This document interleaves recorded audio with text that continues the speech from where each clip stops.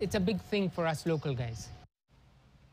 Right, now the Kenya Premier League action continued today as Ulinzi Stars bagged a 1-0 victory against visiting FC Talanta. Netted for Ulinzi in the fourth minute of the first half.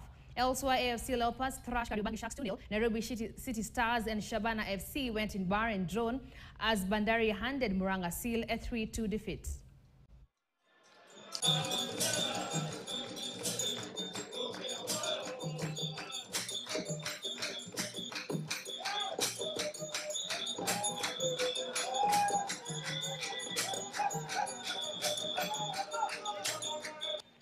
Well, it's a very important win. Uh, as you're well aware, we struggled a lot in the first half. Uh, but at least uh, in the second half of the season, uh, we've started really well. Uh, we haven't uh, dropped any maximum points. we are very glad with the players that have come on board in the mid-season transfer window.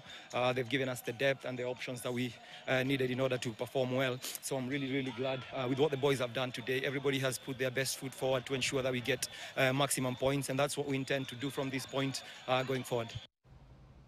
Now, Mutahi Kibugu took the overnight lead on the first